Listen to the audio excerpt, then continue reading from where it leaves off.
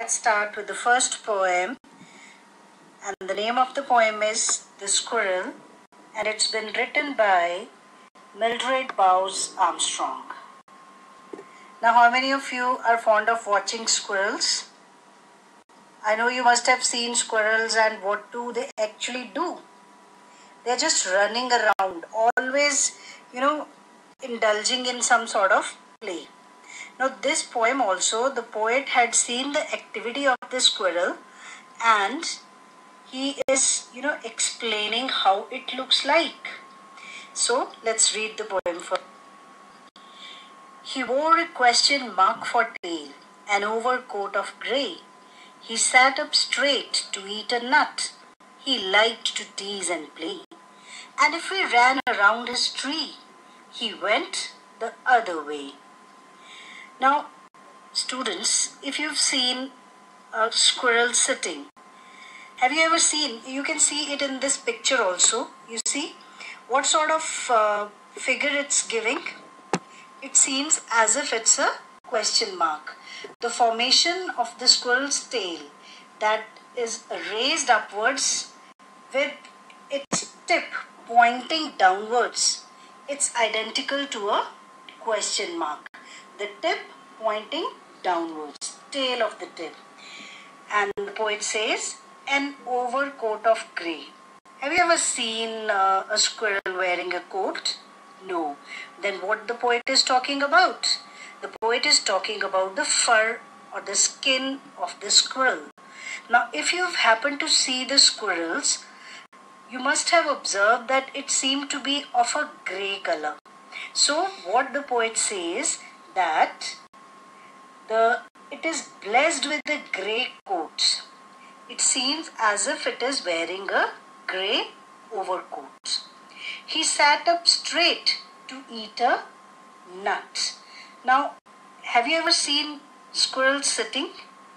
It sits on its two legs and the other two legs are they take the position of hands and with those hands it tries to eat the nut.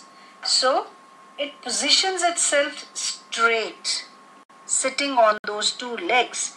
It positions itself straight to eat a nut. He liked to tease and play. Now, what is the basic characteristic of this uh, this squirrel? Squirrel is actually very playful by nature, all the time running as if it is chasing or playing with something. So, what does it actually have you ever seen two squirrels playing with each other? They seem to be running this side, running that side.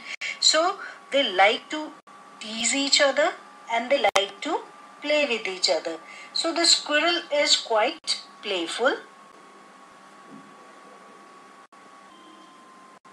as it loves to run the opposite direction. And if we ran around his tree, children are very naughty by nature.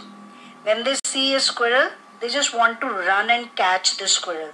So, if you've ever ever tried this, like if you've ever tried to catch a squirrel, if you try to go towards it, it just vanishes. It simply quickly moves away from that place. And if we ran around his tree, where the squirrel has made its hut, he's, the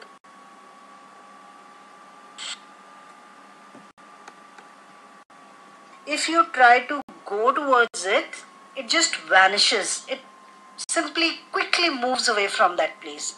And if we ran around his tree, where the squirrel has made its hut, the poet says, if you try to run around, what does the squirrel do? He went the other way. The squirrel changes its direction and moves towards the opposite direction. And the poet says that it loves to run around, it loves to run in the opposite direction that the prank loving human beings take when they run around its tree. Thank you.